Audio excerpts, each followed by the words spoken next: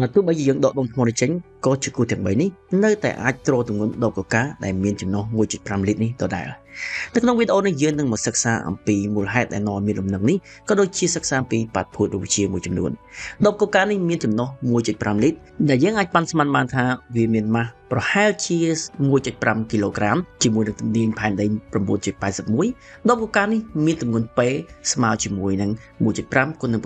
9.81ប្រហែលជា15ញូតុនហើយដើម្បីព្យួរដបកកានេះឲ្យមានលំនឹងយើងត្រូវការកម្លាំងដំណឹងខ្សែតេ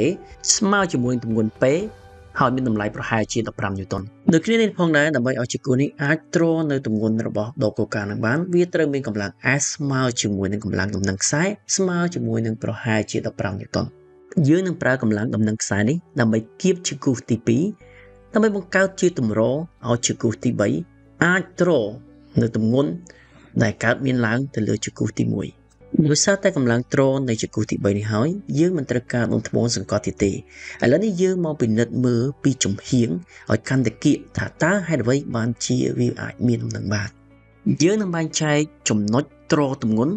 និងចំណុចរក្សាលំនឹងត្រង់នេះគឺជាចំណុចត្រទម្ងន់ហើយចំពោះការរក្សាលំនឹងយើងអាចចុចនៅគល់ចគុះឬក៏យើងអាចត្រនៅចុងចគុះនេះ ការរក្សាលំនឹងគឺយើងមិនត្រូវការកម្លាំងខ្លាំងប៉ុន្មានទេហើយដូច្នេះហើយទើបបានជាជាគូសទី3នេះ